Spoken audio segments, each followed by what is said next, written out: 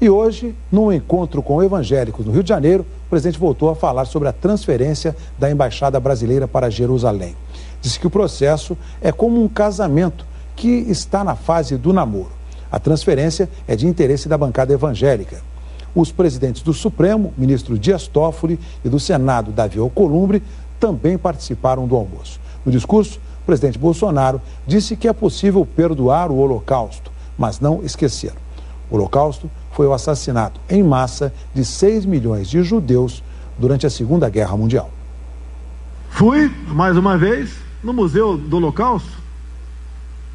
Nós podemos perdoar, mas não podemos esquecer. E é minha essa frase. Quem esquece o passado está condenado a não ter futuro.